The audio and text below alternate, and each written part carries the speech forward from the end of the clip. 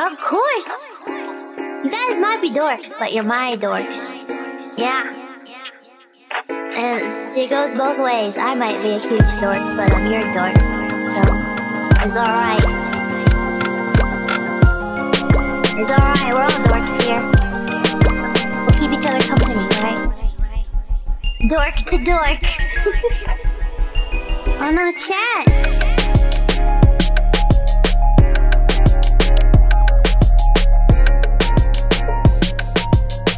And thanks for always being so nice to us dorks.